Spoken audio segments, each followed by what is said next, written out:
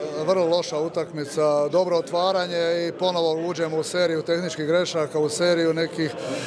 napada koje ja ne razumijem, ali evo rekao sam već na televiziji, ja preuzimam odgovornost da nisam uspio ekipu dovesti na taj nivo da bude ratnički raspoložena, da, da ima volju i želju da, da pobjedi. vidjelo se to da mi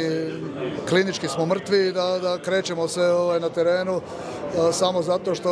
moramo, a inače ovaj, nisam vidio baš puno volje i želje, ali ja preduzimam odgovornost za to i ja i moj stav ćemo sigurno stati za igrače.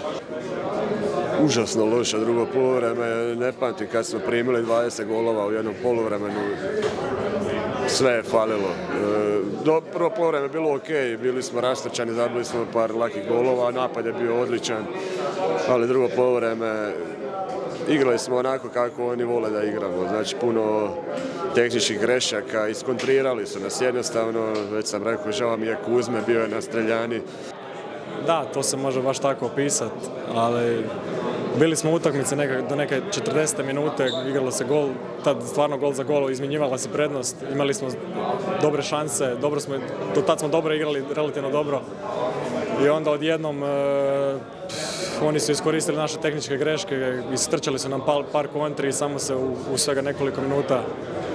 ovoga, iz egal utakmice to pretvorilo u 5-6 golova minusa i tu više nismo mogli to dostići. E,